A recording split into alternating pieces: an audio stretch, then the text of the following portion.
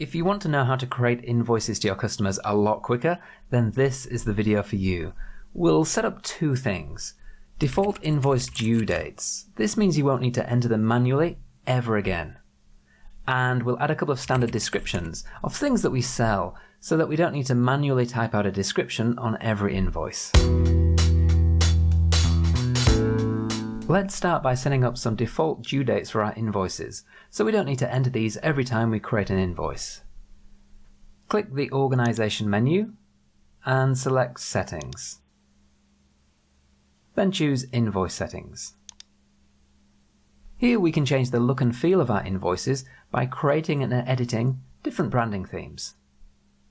We can set up payment services to make it easier for customers to pay. We can set up automatic invoice reminders. There's a link in the description to a video about this so you can learn how they can help you get paid on time.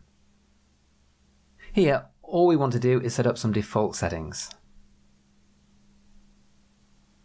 When I create a new invoice, I want the due date to be 21 days after the invoice date. And save.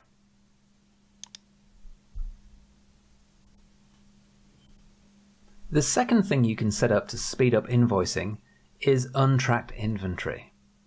This sounds complicated, but don't worry, it really just means adding a standard description. Let's take a look. Go to the business menu and select products and services. Because I often invoice for lawn mowing and landscaping, I'd like to be able to select these descriptions from a list rather than typing them out every time. So click New Item. Enter a code. I'll just type lawn. Enter a name.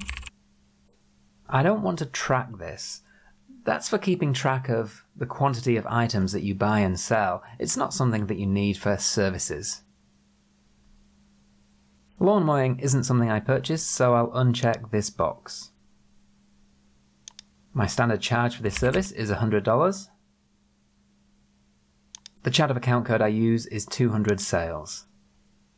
And select the appropriate sales tax rate. If you're not sure about this, have a chat with your accountant or bookkeeper.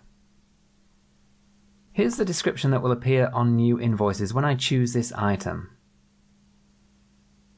I'll save this and quickly add another one for landscaping services.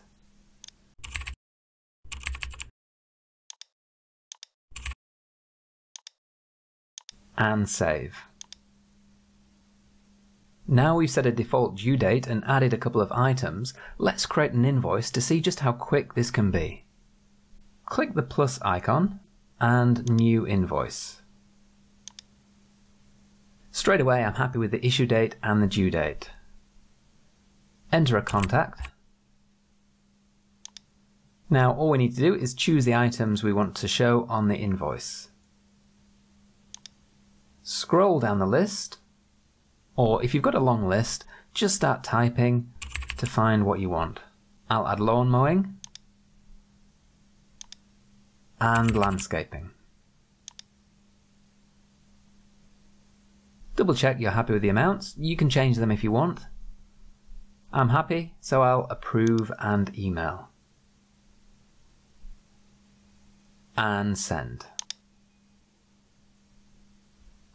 Invoicing in Xero is already quick and easy, but with a couple of tweaks, you can speed things up and save even more time. Hopefully this video was useful. Check out this video to learn how to set up invoice reminders and help you get paid on time. Thanks for watching.